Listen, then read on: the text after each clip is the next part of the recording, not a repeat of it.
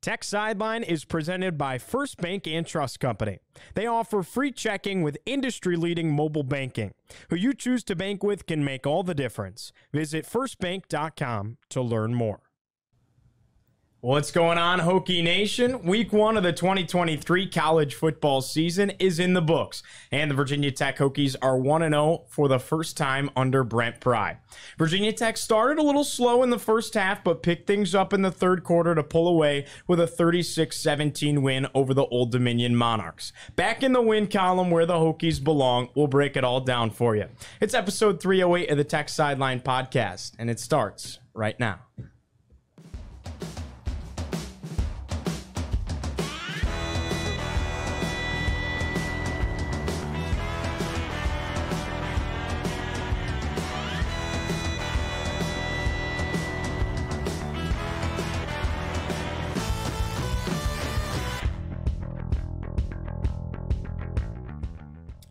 We record on Monday, September 4th, 2023, from Tech Sideline's high tech studios in the Virginia Tech Corporate Research Center.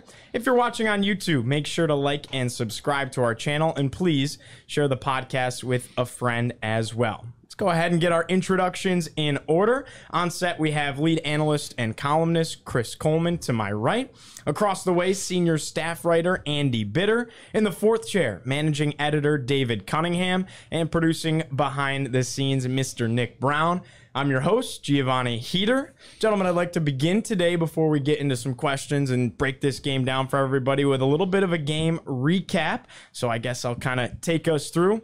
It was slow out of the gate with the Hokies going three and out to start the ball game, followed by a promising drive that was cut short inside the five by a turnover on downs.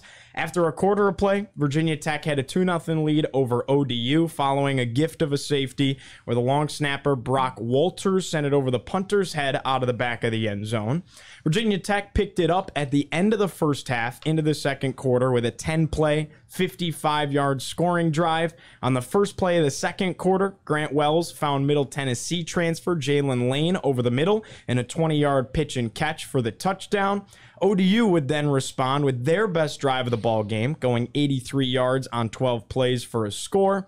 Couple series later, Virginia Tech scored their second touchdown of the quarter on a promising eight play, 62 yard drive that consisted of a few explosive plays. A 34 yard dart down the left sideline to Jaylin Lane that set the Hokies within striking distance for an Ali Jennings touchdown in the back right corner of the end zone.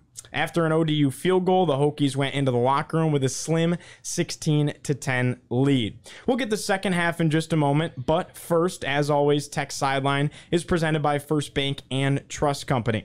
Check out their new Checking with Perks account that comes with cell phone protection, roadside assistance, fuel savings, deals and discounts, and more. Visit firstbank.com to learn about this great new account for students.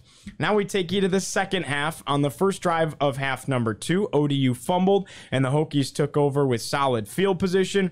Tech went 69 yards in six plays that resulted in Ali Jennings' second touchdown of the ball game. ODU then responded with a long scoring drive for a touchdown as well before Tech went on another scoring drive of their own that saw Grant Wells sneak it up the middle into the end zone from one yard out. Tech forced another turnover, recovering a fumble and kicked a field goal a few drives later.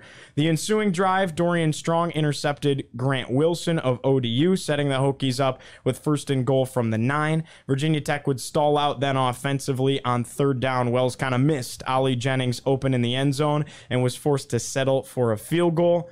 Tucker Holloway showed some explosive playability with a big time 66 yard punt return, and Tech needed out in the red zone for the 36 to 17 victory. Fellas, I want to start by focusing on the positive here. And again, we went through the recap for those that maybe didn't get a chance to see every bit of the game. So we'll talk about some positives, then we'll talk about some things that maybe needed a little bit of improvement. But first and foremost, the three transfer receivers, Ali Jennings, Jaylin Lane, and Quan Felton, combined for 203 yards and three touchdowns. I'd have to say they look pretty darn good out there. Yeah, I think uh, they made their presence felt. Uh, you know, Felton only had one catch, but he broke a tackle and it was went for 34 yards. The other two guys both combined for uh, three touchdowns and, and you know had good games overall. And and you know Lane also had a good good punt return for 14 yards. So that's what you wanted. Um, I, I think. Uh, I think last year Grant Wells needed help and he only got it from one guy. And this year he's got it from three guys, maybe more guys as the, as the season goes along. But I, I think that that's what you wanted from those three guys to start. Yeah, those three, and uh, you know, Da'Wain Lofton had a nice catch. He The ball behind his, that was behind him, a third down catch to move the sticks early. Uh, completed some passes. Stephen Gosnell too. So just more weapons in that passing game altogether. But you look at some of the catches, and it wasn't like uh, these were just like schemed open. Like Jaylin Lane went up to make a 50-50 catch. Uh, sort of, sort of the first big catch to get things going. Uh, the touchdown was just a nice design play, but you know they hit Jennings in the corner for the touchdown. That was a nice catch that he made in the corner. Da'Quan Felton caught it, slipped a guy, got up the sideline for another 20 yards. These are just plays that were not being made consistently by the receiving crew last year. This year, you have three, four, five maybe guys that can do that. I mean, it really reshapes this offense. It gives us, uh, you know, some dynamicness to it. Yeah, I think I saw two things that I wanted to see. I- I saw a few occasions of Tex receivers, you know, being schemed open to a certain extent, and then I also see saw them make plays. So you left a few plays out there. Wells overthrew a couple, and then there were three drops, and most of that though was in the first quarter. And after that, it was pretty much smooth sailing. After that, Yeah, it was funny too. Uh, Jaylin Lane and the beginning portion of that drive that set up the Ali Jennings touchdown, they both went up and over the same corner. It was Taj Rael for ODU, and uh, you know we were kind of saying in the booth, kind of kind of mossed them both times. Um, so that was cool to see. Well, it's interesting because you can see what a different quarterback Grant Wells is when he has some guys to throw to. It's like, yeah, you improved the, the receiver room, but now you've improved the quarterback room too because you've given this guy some confidence and some players he can go. It doesn't need to be perfect. You know, the players need to be perfect for them to make a play on it. I can put it out there and have some trust that these guys will go up and make the catch and, and get some yards out of it. yeah, he wasn't hesitant. You know, as the season wore on last year, I think he got more and more hesitant, and uh, just and that's from a lack of confidence. And he seemed very confident, and I expect those guys were making plays for him in practice in the preseason, and that just leads to uh, more and more confidence. And he, I think he's well. Before last night's Florida State game, he was number one in QBR for ACC quarterbacks th- this week. Um, but I'm sure Jordan Travis eclipsed that last night. A little bit different playing LSU versus playing ODU Slightly different, yeah. Well, Antwaun Powell Ryland, APR, as they call him now, was a monster in his debut. He led the team with six tackles, had two sacks, and a forced fumble as well.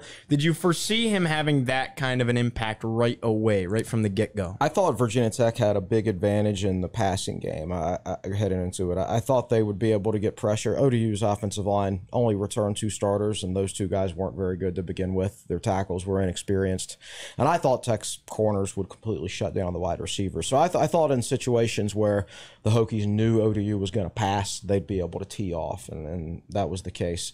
You don't like predict individual players to have X number of sacks or anything like that. But I'm not surprised the Hokies had five. I think they should have had six. Mario Kendricks uh, made, made a tackle, flushed the quarterback and made a tackle. It was about a half a yard loss on one play, but I think they eventually they actually ruled it a no gain, so officially it wasn't a sack. But he did tackle him slightly behind the line of scrimmage. Well, if it's no not a full yard, then you don't technically Right. lose that yard, so Yeah. it wouldn't be a sack. Also, APR should have had another one, but he forced the fumble on that play, so it's not a sack, I guess. If somebody else recovered the ball, uh, the quarterback fumbled it because he had two like legit sacks and then that like half sack where the ball was fumbled forward and and the uh, offensive lineman jumped on it. So briefly, he had two and a half sacks in the schedule, but I did I did predict he'd get to ten this year, so I'm feeling good about that prediction. That's- so far. that's holding he was almost 25 percent of the way He's there. on pace for 20%. 24. Yeah, there we go. So good prediction on my part. Pretty strong out of the gate. Well, kind of piggybacking off of Chris's point, how about the pass coverage? Really outstanding on Saturday night. They were all over him. Yeah, uh, in fact, let me pull up my tweet from yesterday, and this is specifically related to the corners. Which Brent probably liked. Brent right? Yes, did like this tweet. Old Dominion targeted uh, Mansoor Delane and Dorian Strong eight times, and they completed one pass for six yards.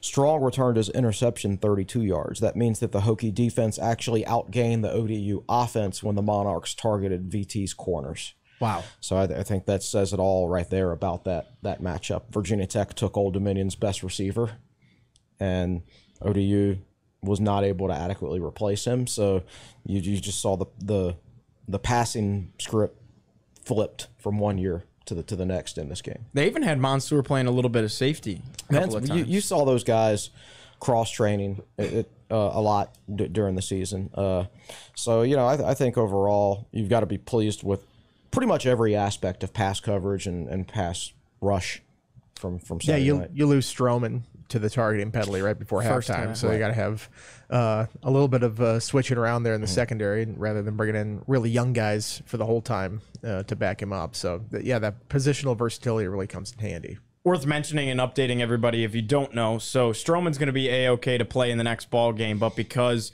uh, Feldarius Payne was ejected for targeting in the second half, he will be inactive for the first half of the Purdue game on Saturday. I Saturday. felt bad for him because you know he missed all of last Yeah. year with an injury, and then four plays into his first game back, boom, targeting. And they were out to get people for targeting. For hitting the other chair like that, you just got flagged for targeting. We're actually going to review I- it here for a couple minutes. No, the, the the targeting call that the uh, that the deep official made, uh, where it was like nowhere close to hitting the the, Caleb Woodson one, Yes. where he just like slung him down. Yeah. Yeah, like not only is it not targeting, it's also not a personal foul. It's like, Right, I was- it's like, what are you guys what? watching? You guys just have an itchy trigger finger with this It- stuff today. I, I- I think it's clear like every year there's a point of emphasis and it although it wasn't announced or anything it kind of seems like it uh it was a point of emphasis I don't- it felt like those officials must have been watching like a hype video for targeting I- I- calls before the game. you like, know, just the- like we're gonna get them this time. We're gonna go out And you're- there. you're- and remember all the rules changes this year you're expecting the game to be sped up and everything and then there's five targeting reviews and takes all that Well, away Well, the uh, Louisville Georgia Tech one had like two calls, I think, in the first drive, where it's like, okay, this is ridiculous. Mm-hmm. Yeah. We need to ease it back. A And here's bit. the thing: it's for player safety and everything like that, and I'm all for player safety. But how many years have we been doing targeting now? Is it really helping? it's taken the egregious hits out of the game. Like whenever they show like the '90s Miami Hurricanes, like all, all the greatest hits, True. it's like every one of these guys would be ejected for targeting now. Yeah. Like that, Yep. that hit is out of the game. But now Yeah. there's stuff that's like you're in a pile, and the helmet comes in a little bit low, and it gr- glances the head. They're like, "That's targeting." And, by the and definition, both guys like, are changing now. directions at the same time. Like the, the game's the game goes too fast to make those calls. There's no way a player can can react that quickly. Like I, I, I did think the the pain one was a really really tough call um, because you're you're in a really short amount of space.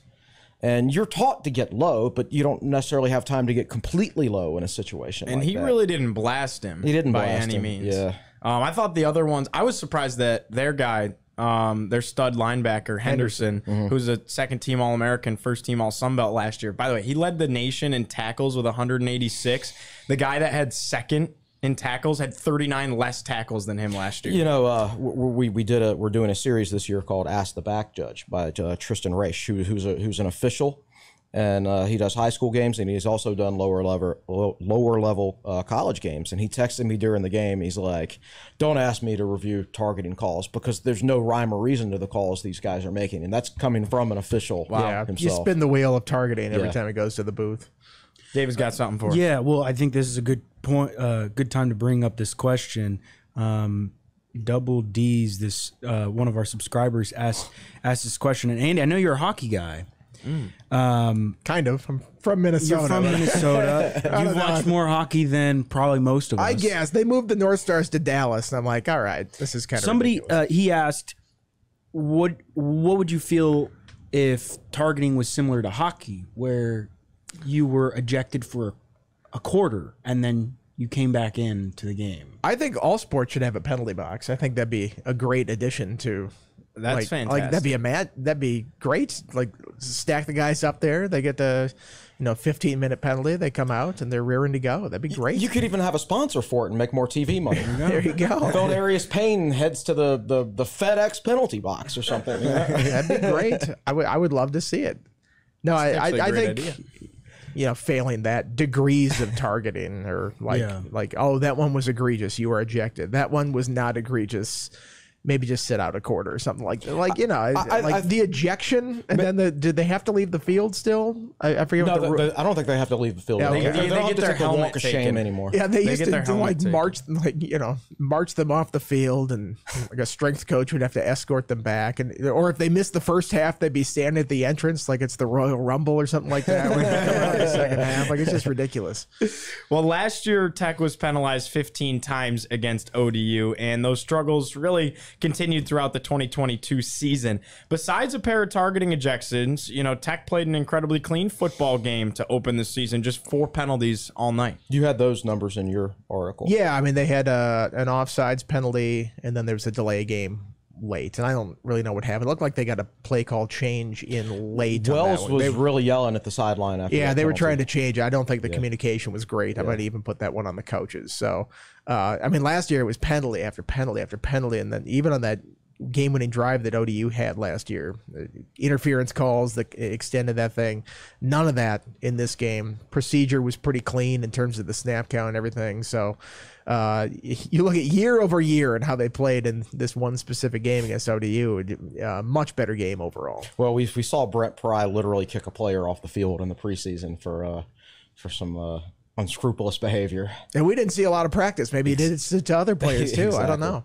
Fair to say it's a tough ask to, you know, ask to only ha- be penalized four times the rest of the season, two of them being targeting, so kind of fluky plays. Like, I, I, I don't know that that happens week in and week out. What do you think? Of? Uh, yeah, I mean, it's going to vary. I mean, I'm sure even the best teams out there have one or two weeks where you're like too many penalties, right? But uh, it, it was kind of a Virginia Tech ex- uh, for for some teams maybe like eight or nine penalties is extreme. For Virginia Tech, it was like 15. Right. I mean, it's penalties of aggression you can live with. Uh, you know, did you, you know, was it a late hit? Sometimes you're just going too hard at a guy. You don't want late hits like that. They're egregious. But like holding, you're going to have that against bigger, faster opponents. Sometimes you just uh, default to that kind of thing. Interference, you'll try to make a play on the ball. But what you want to avoid is the procedure stuff because Yeah. that's like, you know, day one stuff like snap count. Like snap count's a big deal. You can't have ten false start penalties in the game or whatever it was against NC State. I mean, that's just that's just a sign of a team that was not well coached at that point last year. And this year they didn't have any of that. So you know maybe they're doing better on that front. Well, I was impressed with the pass protection of the offensive line. Now, with that being said, uh, Old Dominion's best edge rusher, Amori Morrison, was ejected three plays into the game on targeting, and their D line is undersized compared to anything that Virginia Tech will see in the ACC. But I thought they kept the quarterback pretty clean. Yeah, ODU does not, you know, pr- obviously present dynamic athleticism up front from a pass rush standpoint. But at the same time, there were times last year where the offensive line I thought was pretty dysfunctional in pass protection, particularly down the stretch. And you didn't see any of that. I thought they were a brick wall on Saturday night. Uh, I, PFF credits ODU with two pressures the entire game, and one of those Wells escaped in the backfield and almost ran in for for a touchdown. How There was, there was one one play where Bhayshul Tuten like picked up two blitzers at the same time. I forget who, who posted that on Twitter. I missed that during the game, but yeah, I think group effort, uh, offensive line and the backs, uh, you know, keeping Grant Wells pretty clean back there. There was that one play where Grant rolled out to the right and he almost hit, I think it was Felton in the end zone. And they were kind of calling for pass interference. And I was like, man, if Felton caught that, it would have been like 35 yard touchdown pass, Wells off his back foot. I was like, that would have been the best highlight we've seen in like 18 months. I thought the best throw of the game, or the best play, not necessarily the best throw, the best play of the game was the pass over the middle to Benji Gosnell. Mm. It was trips formation to the left, and, and Wells looked left at first and, and got the ODU defense moving in that direction, and then and then hit Gosnell over the middle. I thought that was a well designed and well executed play. No doubt about it. Well, you know, Tech showed some big playability. Five plays of 20 plus yards, all of which by newcomers, kind of piggybacking off the conversation of the receivers that we had earlier. Just how refreshing is that? Yeah, I, I, think the stat I saw, uh, they had 12 play, pass plays of 30 or more yards last year. They had three, uh, one by each of the new receivers, which is nice little symmetry uh, to put in the story there. But it just shows that they have some playmakers this year. That you know, for as much as you, you want to say, ah, the quarterback struggled last year, and you know, it wasn't great. You have to have people to throw to. You have to have people that can get open. Uh, you know, the running game struggled, yeah, but y- if you have these receivers that are getting down the field and getting open, it's going to open that up on the ground too. So it all goes together, and I think it's just they've added talent significantly to this offense, and it showed up in week one. I think a lot of quarterbacks, maybe even most quarterbacks, it's about the situation for them. I mean, you look at Brennan Armstrong in 2021, and he's one of the best quarterbacks in the country. And in 2022, he throws seven touchdowns with 12 interceptions.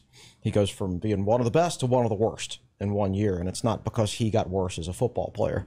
He's at NC State now, and he played much better on Thursday night, but NC State lacks playmakers. Like they lack wide receiver and, and running back talent. So, and just watching that game, he made some throws that his receivers just did not come down with.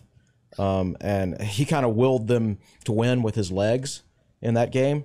Um, but it's one of those things where uh, I'm looking ahead here, of course, but like I look at it like NC State, that game's in, in Blacksburg, and Brennan Armstrong's really good, but they don't look like they have the skill position talent. And at least they didn't against UConn unless UConn has some kind of you know studly secondary that I, I don't know about.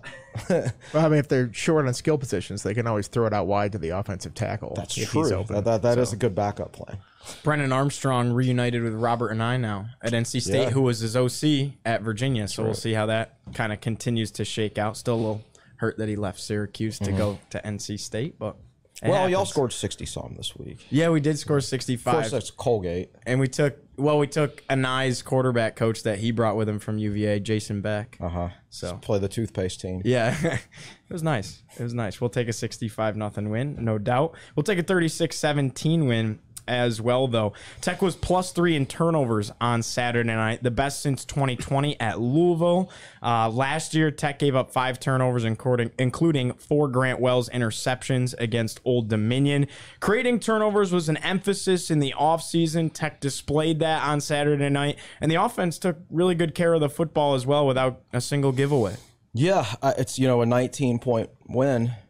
What if the turnover margin is the opposite direction? You know, and and I think uh, obviously that was the big difference in last year's game. It took five turnovers and a couple of fluky play, plays for ODU to win the game by three points. And, uh, and this year uh, it was the other way around: three turnovers in Tech's favor, and that game could have been worse. You know, Tech got stopped at the one yard line. They they need the ball down inside the 10 yard line to end the game. So it was their first game since uh, 2021 scoring 30 points, but you know, they could have scored 40 and if everything had come together, absolutely everything had come together, potentially 50. Yeah, and, and I look back at uh, I forget what the score was when Canteen caused that fumble. I feel like it was good still pretty was- tight at it that was, point. It was 10 it was 16-10 because it was the first possession in the second half. Okay, so I mean that's a close game. Yeah, yeah. ODU's got the ball, could even take the lead there, uh, coming down, force the fumble at midfield. Virginia Tech goes down and scores, give you some breathing room. I mean that that's a huge play. Uh, you know, good to see Dorian Strong get a pick. Uh, I think his last one was BC in 2021. Uh, he had a better return this time because at BC he took it out of the end zone and fumbled and turned it right back over to Boston College. This one he takes it back 32 yards, almost scored uh, on the play. You're right. I mean, we talk about what the final score is. And people are like, oh, it was okay, okay. I mean, they punch either of those two touchdowns in at the end when they're inside the 10 yard line, or, you know, Wells got stuffed on the, you know, tried to go over the top on the fourth and two or fourth and one, whatever it was, did not go well. Uh, you know, they had three opportunities there at the end. They could have really extended this thing further. And you're not talking about like, oh, it was an okay win. I mean, you're talking about 20 plus point win, and you feel a lot better about it. Well, I thought we saw some flashes from the Young Bucks as well. Hard hitting Mose Phillips played quite a bit at safety, and he really did lay a couple of nice hits.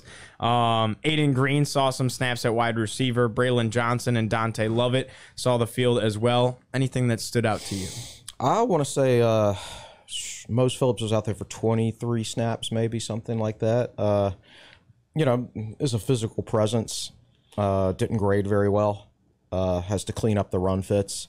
Uh, you know, the, the linebackers and safeties were on an island to a certain extent in the run game, and you could see like Nasir, Nasir Peoples played very well. He handled it well because he's experienced. Jalen Stroman played very well. He handled it well because he's got experience. Um, the other two safeties didn't really handle it very well, and they had to play more because Stroman only lasted 19 snaps. So that was part of it. Um, I saw I liked what I saw from those starting safeties. I thought it was good for the backups to get that game experience against a team that, while not very talented, they challenge you schematically with the way they spread the field, and it, and it makes things tough on on the safeties. Uh, so from a schematic standpoint, things will be easier from for those guys for, from here on out. But it's good to get their feet wet in a game that Virginia Tech wins by 19 points. Yeah, I think those guys are high enough on the depth chart that they're going to need to play this year. Mm-hmm. I don't think you're going to be able to go four games, then sit them down. Like that's just not going to happen. Especially if you don't want to. You know, last year with the offensive line, you're like, okay, this season's not going well to begin with. Let's not compound the issue by wasting a year with some of these guys. I think these guys are going to have to play, especially if there's an injury at some point or an ejection. Like happened never the other day. I mean, all of a sudden you're like, well, safety's the one position where it gets really young really quick. We can't lose a guy there. And then Jalen Stroman gets hurt, and uh, you know they have to, you know, push up guys up the depth chart there. So, uh, you know, I think Aiden Green, I think he's going to play this year. Caleb Woodson, he's going to play this year. Corn, couple cornerbacks, absolutely going to play. Mose Phillips, I mean, I think those guys are they're committed to getting them in the game, and they're probably going to burn the red shirt this year. I would say the the one guy listed in the two deep is a true freshman that will probably redshirt. I would guess would be uh, Penix. Like he's listed as the backup nickel. Yeah, he's probably Right. number number six of Yeah, the cornerbacks. yeah, yeah. and And you, could, you could get away with five, but again, an injury happens, and all of a sudden that changes the equation. What about Xavier Turner Bradshaw? You think we see him at all? I was a little bit surprised that, that you didn't see any of him the, the other night, but uh, especially considering the reviews he got. And, uh, you know, Brent Pry in one of his preseason interviews actually mentioned him before Da'Wain Lofton, but then it was Lofton who got into the game. Uh, I don't know, maybe that'll vary on a week to week basis, but we'll see him at some point, I believe. Before we send it over to the fourth chair with David, this episode is also brought to you by Coldwell Banker Townside Realtors. Are you in the market to purchase or sell a residential property? Are you looking for land or investment property in Southwest Virginia? We have you covered with three offices in the area. Visit cbtownside.com to learn more. David, anything in the fourth chair from you on the positive note for the Hokies on Saturday? Yeah, well, I think it was a it was a big recruiting weekend for everybody. I I think some people might overestimate you you know your your everyday fan might overestimate how much a weekend like this and a night game in Lane Stadium means for everybody at Virginia Tech. Um, it's an opportunity for the Hokies to show off Lane Stadium on national television as Will tweeted out this morning, Metallica tweeted out the Enter Sandman video from Saturday night. It's a night game. It's one of the best entrances, if not the best, in college football. And recruits for all sports, not just for football, buy into that. It is obviously big recru- recruiting weekend for football, but men's basketball had two guys here uh, Ryan Jones from uh, Gainesville and uh, Connie uh, Ruths from Bradenton, Florida. Um, I know women's basketball had one or two uh, visitors here. Um, I think wrestling had one or two. I think Jack Brisentine tweeted about that yesterday. Um, it's just a big recruiting weekend overall, and I think it helps when the football team wins and is performing well and the fans stay and everybody's into it. Um, but outside of that, uh, two pickups in the last week one men's basketball commit, one women's basketball commit. Uh, Tyler Johnson, um, six four, six five, 190 pound small forward from Orlando. He committed on Wednesday to men's basketball. He's Tech's um, first 2024 commit. On the women's side, Clara Silva from Portugal, six six center, committed yesterday. Um, she's Tech's third 2024 commit. I do have a, a question, Chris, regarding PFF grading. Wh- do you know what the process is for that? Somebody, uh, uh, No, Hokie 101 was asking kind of who does the grading and, and what they're looking for. Well, I mean, I don't think they're going to give up that information because they don't want somebody to copy their Yeah. their product. Um, I, I I don't know the exact pr- pr- uh, process. I mean, obviously PFF's not going to grade anybody or hire anybody that doesn't know anything about football. Um, I, I have talked to one of the a guy who used to work at, at PFF before, and he's explained a little bit of it to me, but that was several years ago, and it's just not in my head right now. Uh, and I'll say this about PFF, like you can nitpick things here and there, but generally speaking, those grades over the course of 12 games match the eye test. Yeah. Um, one other question I wanted to throw in there. We talk often, we have talked often about just the strength and conditioning stuff that occurred during the Fuente era. This is now entering year two of Brent Pry's era. Chris, do you feel like the strength and conditioning issues are finally being addressed? Uh, SD Hokie asked that. I'm encouraged by what I've seen so far, but you know, strength and conditioning is a four year process, four or five year process. So uh, we'll be able to tell more as, as time goes by. Um, I, I think. Uh, you know, some of the guys you, you want to keep keep an eye on are the guys whose bodies need to significantly change. So, like a guy like Dante Lovett, who's six foot, 190 pounds, who came in very physically advanced already, he's not going to change so much during the course of his career. But how much does Braylon Johnson's body change over the course of his career? He came in at 171 pounds. Uh, you know, how much. Uh, how much does Caleb Woodson's body change? He, he he's got decent size already and a good frame, but he's still going to add weight and he can fill out more and get more muscular. So th- those are the guys you have to look for. Keli Lawson, he's already put on 25 pounds since he's been here. You know, obviously he's got the frame to put on even more. So how much does his body continue to change? Uh, Lawson might be the guy who, at the end of his career, you look at as as the ultimate judge of the tech strength and conditioning program because he came in so skinny, so raw, but with so much potential. And I, and I think they've done a really good job hit with him so far. And, uh, you know, give it another couple years and he'll really look the part. I'll say on the recruiting front, I'm a little disappointed that Pry didn't arrive in a helicopter on Saturday. Just like Well, set down in the we- middle we, of the did- field. We did have a something like question about the helicopter. I- I- well, that's a good time to bring it up. Um, Okie dokie Hokey asked, uh, "What do we what What do you think of you, of the tactic? I mean, we knew we were told ahead of time that it was going to happen. Tech's flying 15 minutes up the road Yeah. to Salem High School. You know, it is the number one recruit in, in the state. I, is that just how? Is that just where recruiting has evolved it's, to? it's perception. Uh, somebody told me over the weekend, I forget who told me this, but one time Kirby Smart took a chopper to visit a recruit who lived 10 minutes from Athens. I think I told you. It's all about You told me that. showmanship. Yeah, it's exactly. That's SEC exactly. coaches have been doing this for a while. And it's not in tech. I'm not going to say whose helicopter it is. I know whose helicopter it is. Tech didn't rent the helicopter or pay any money for it. They probably paid the fuel for it, but but that that that helicopter was provided for, for them by a friend of the program. So it's not like they had to go out and rent it and spend a bunch of money on it or anything like that. It was just something they wanted to do just for perception, just to get it out there. Yeah, it's, it's all about the, the little film bite that you get out of it. I mean, Mm-hmm. You're gonna look pretty cool walking off a helicopter, especially where like the bomber glasses, like Pry does, getting off there. Like that's tough not to look cool on that. Like I'm sure I could manage to not look cool Which doing uh, that, but which wrestling pay per view way back in the day did Ric Flair show up in a helicopter? It was Oh, I back don't in know. the 80s. It was like in Charlotte. It was like Starcade or something like that. that sounds That about would have been. WCW. Oh, it was before WCW, buddy. Oh, wow. It was yeah, it was like Jim Crockett Promotions or something. Yeah, but, uh, I mean- but yeah, he shows up and they're they're actually it's like an outdoor stadium they're doing this event and he shows up and the helicopter lands right outside the arena and he walks from the helicopter to the ring.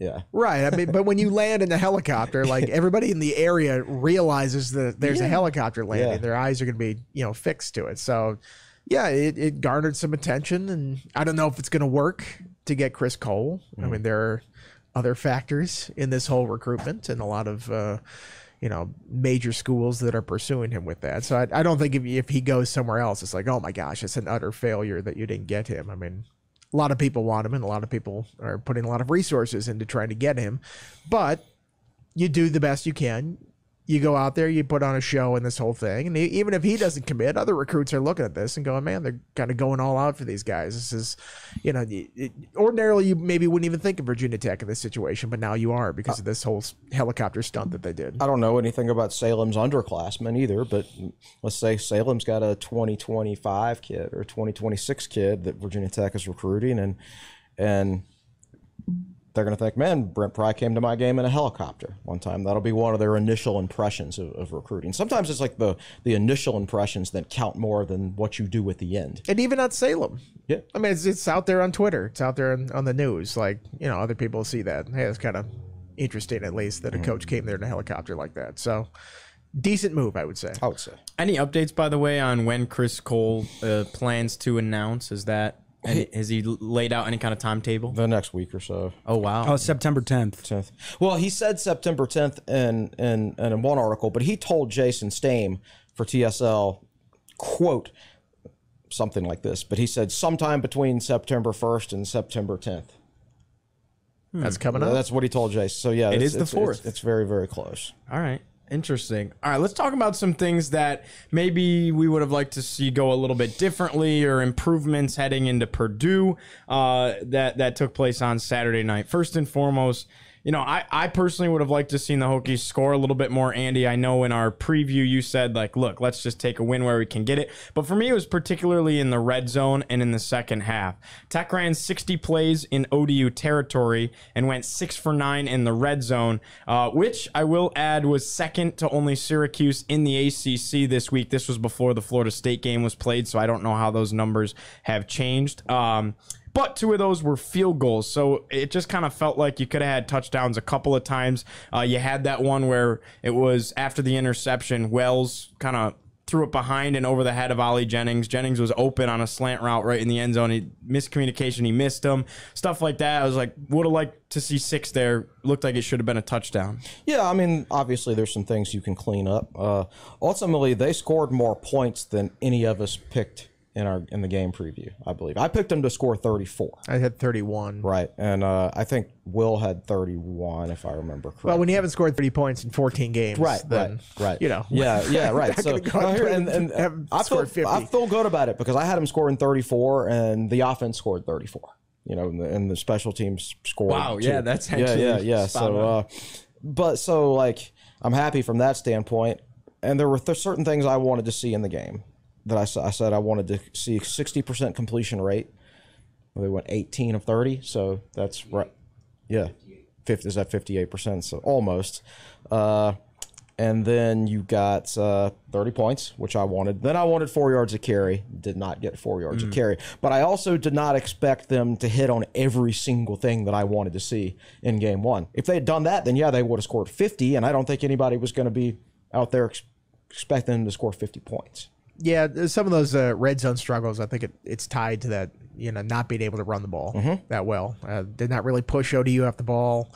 Uh, not very imaginative with the play calling in the ground game. The run game, Uh, you know, a lot of runs up the middle. They were just like, okay, I think everybody saw that one coming there. Uh, but yeah, if, if you run the ball better, then maybe you, you move the chains on, you know, two fourth downs. They turn the ball over and turn over on downs, I think.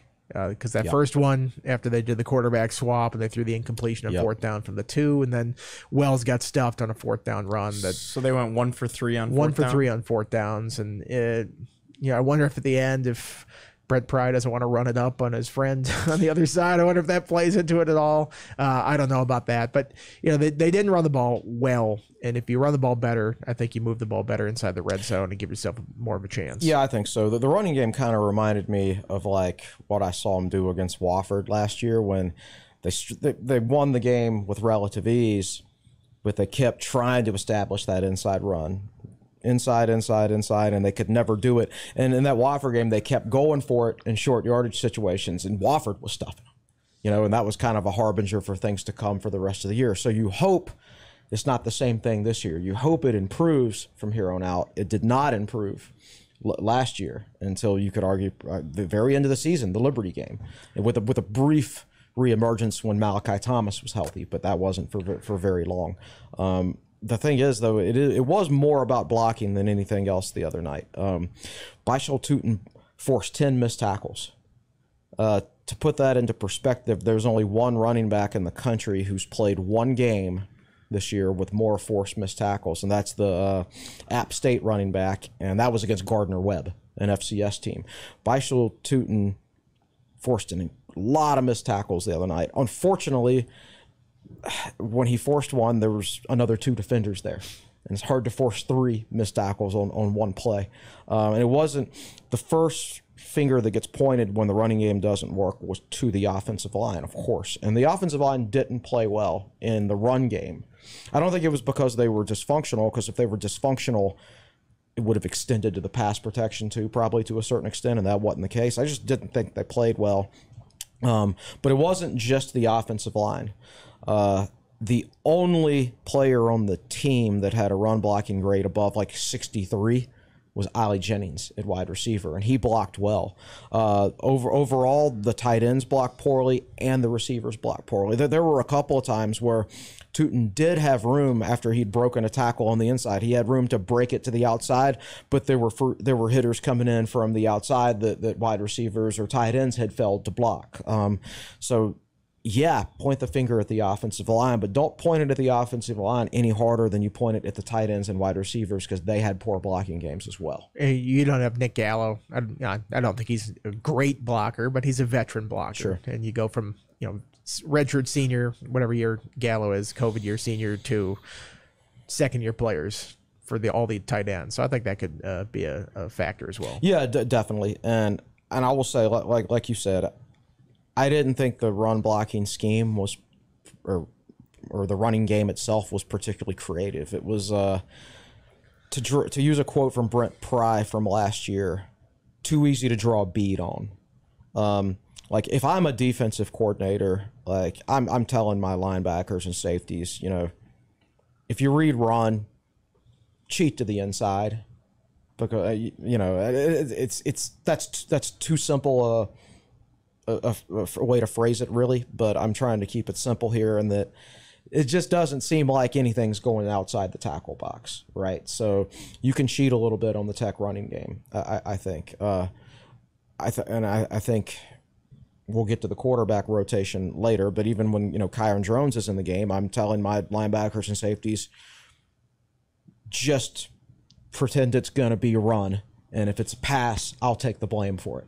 Right. Uh, that's what I'd be saying if I was a defensive coordinator. So I'd like to see more motion in the running game, perhaps a jet sweep or two to, to, to get some defenders moving. Uh, I don't know. I don't know if from that's side to allowed side. anymore. Ah, man, I know you went from a whole bunch of them to none at all, and and it, it is a play that gets defenders' eyes moving, and, and it makes them hesitate slightly. So I feel like you've got to incorporate a little more motion, a little more misdirection into your running game to uh, make things a little bit more difficult on the on those defenders uh, when it comes to making their reads. It is funny that uh, people's dislike of Fuente has made them hate a play that averaged like six yards a carry. know, I know. Like, like, don't carry your hate over for the for- forward coach to, to this one play that actually was pretty successful. Yeah. Is it a hate for Brad Cornelsen or Justin Fuente or both? Both. It's, people don't discriminate share. between the it's over the top, and it's but it yeah. Pe- football fans are going to be emotional like that. Well, it's evident Chris has been doing this for a long time because he let us beautifully into uh, our next topic of conversation. Can't believe it took this long to bring up the quarterbacks, but here we are. I personally was not super impressed with the two quarterback system. Seemed to actually take Virginia Tech out of their rhythm a little bit. They did not feature it in the second half. Brent Pry said that they had talked about it on the headset, ended up holding off. Uh, in your opinion, what will this two quarterback system look like going forward? I think it it could vary week by week early. Next week is Purdue, and they just lost at home to Fresno State. They did well against the run. They got bombed through the air. So to me, it does not make sense to play Kyron Drones uh, against uh, Purdue when they're susceptible to the passing game and not the running game. That seems like a Grant Wells show to me. Um, I think you know you you want Drones in for to help you win the running game, but how much does it really help you when the defense is probably 90% certain it's going to be a run? Does it really help you? I don't think it helps you all that much. Yeah, I, I think it could just because Drones does have the athleticism to make something out of nothing. But when three guys are dragged on him, it's tough to get Yeah. anywhere. I just, I, I think you made the point. It, it kind of took things out of rhythm in mm-hmm. that second drive and didn't quite know when guys were going in and out. And then it's like, okay, three plays for Drones. Then, all right, Wells, it's your show for fourth and two. It's like, okay, well, just coming in cold to throw a fourth and two pass there. So, uh, it's very strange. And then I thought it was strange that they didn't at least get drone some snaps at the end. Yeah. they, Yeah, they you were know- up 19 with four minutes left and the ball at midfield. It's like that seems like if you want to get him used to playing and get him up to speed with stuff, that that would be a good time to get him some actual snaps where it's not just like you're only going to run it. Or they made a point to throw the pass on the first play i think to be like hey he can pass too. This is something that he does. He does he has the whole playbook. We've said this many times so you have to prepare for that. So um, i don't know i've just felt like they were giving more lip service to this whole quarterback rotation which maybe is a good thing because i don't think it's going to be something that they can pull off because very few teams ever pull it off. Yeah, and you know, I just kept hearing over and over that it was such a big advantage for for Wells in the passing game. And when it comes down to it, like, does the advantage Kyron Drones may provide in the running game, does that is that better than the advantage Grell's, Grant Wells provides in the passing game? I don't think so, personally. Wells had two Tech's two longest runs from scrimmage the other night 10 yards and 9 yards. Last year, he had the second most forced missed tackles on the entire team. Right? So, uh, which I'm not, that's not saying much because the team didn't force many last year, but it's not like he's a slug back there. You know, it's, it's not like he has no running ability at all. Um, so I just, I think that's something that maybe it was probably a little bit of, of lip service. Now I do think that they believe in in that Drones has a high ceiling, and by giving him so many reps in the preseason, they were kind of hoping a light bulb would go on, and it would become it would turn into more of a competition than it actually was. But I don't think that ever really happened, even if they might say it did. Old Dominion ran the football for 201 yards on the Hokies. Is that something to worry about? uh yes. Not great. It's not great. um, not great considering uh you know they struggled on offense and pretty much they, they, they had a good running back last year, Blake Watson, and he he left and went to Memphis. They're, they're the top two running backs on their depth chart, career under four yards per carry, both of them. And then you know they're gashing the Hokies the other night, and and a quarterback who I doubt will rush for that many yards again in his entire career, you know, is just even with five sacks, you know, they, they, they even with five sacks sacks and the big loss on the, on the bad snap, they still rush for 201 201 yards. 201 yards. That's not good. Some of that is the way they spread their wide they stack their wide receivers so far towards the sideline it pulls pulls your safeties out and Tech was playing a, their other safety back because I, I, think they were really concerned about what those wide splits could do for the passing game.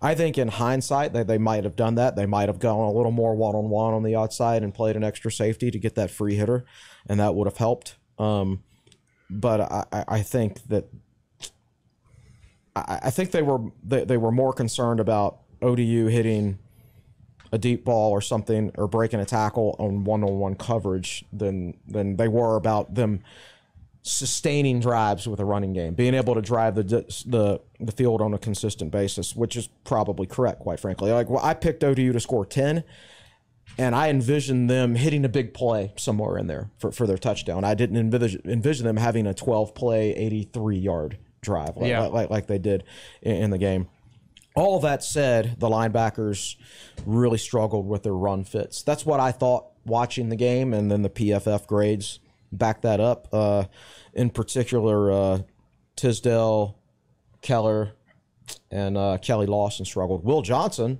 who was kind of a surprise addition to the two deep when the depth chart came out, he was the highest grader on the team and played 22 snaps. I don't worry as much about Lawson because he played very well for, for the Hokies down the stretch last year, graded out well, played consistent football. So it could be just a one off for him against a tricky scheme that he hadn't seen before. It's a little more concerning with those other guys. Uh, Tisdale playing Mike, which is a position he's never played before until this game. And then Keller. Keller was a guy who, safety in high school, didn't play well at linebacker when called upon. And then when Tisdale came back, Keller immediately went to the bench. And now he gets a start this year at Mike, which again is a new position for him after playing Will last year, and he and he didn't play well. So he hasn't.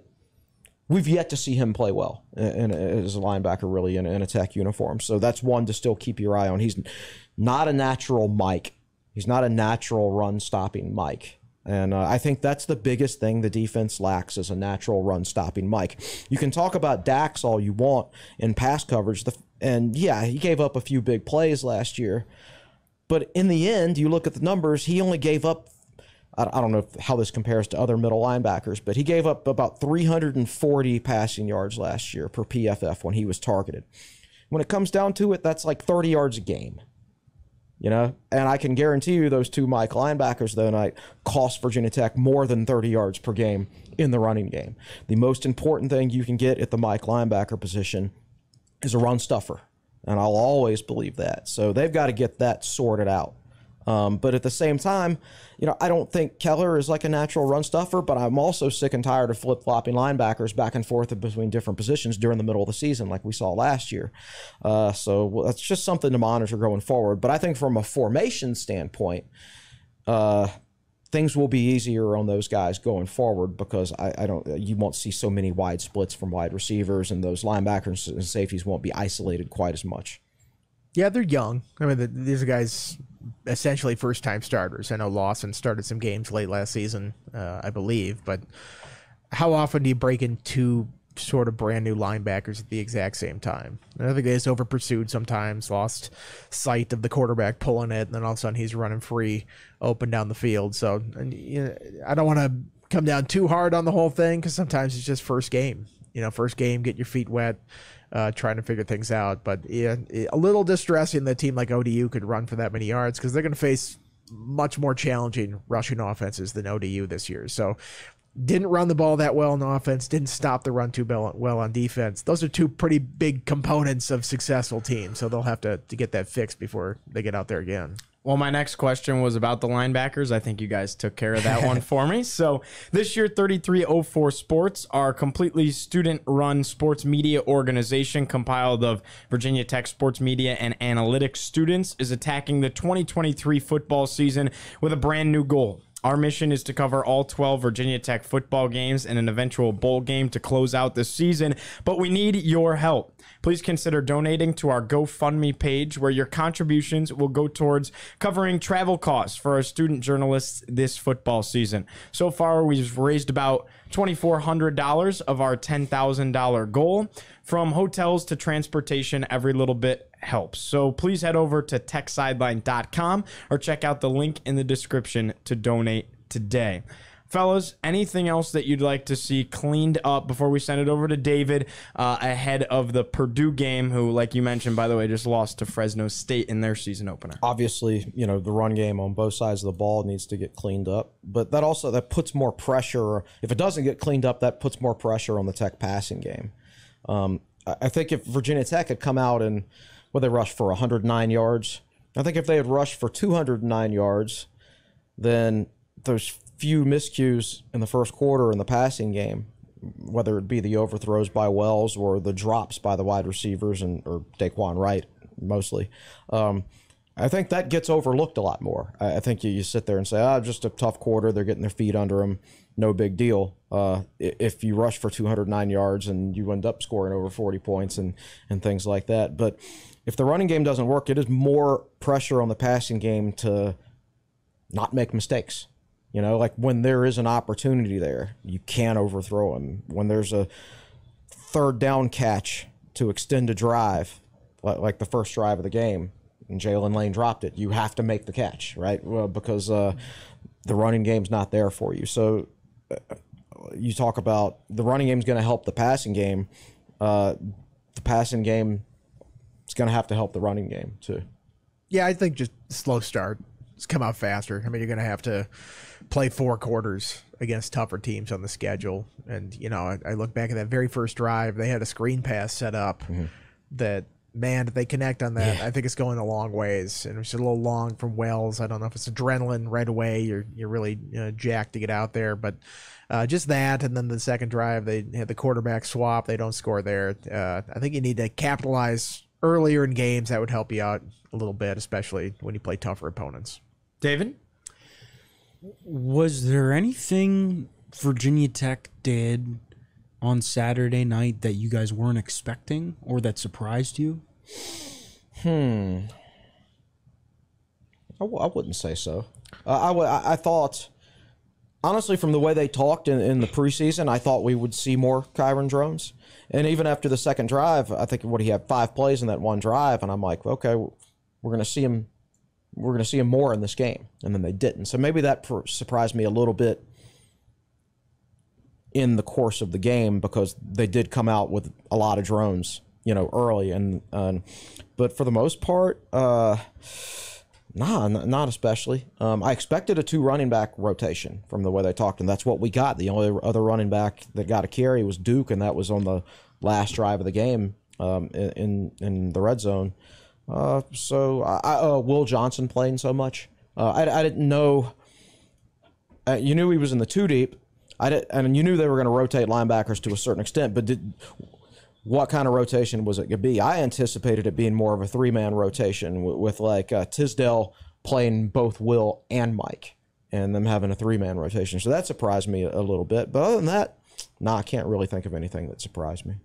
I was surprised to see a 12 play, 83 yard scoring drive out of a guy that threw five passes last year at Fordham.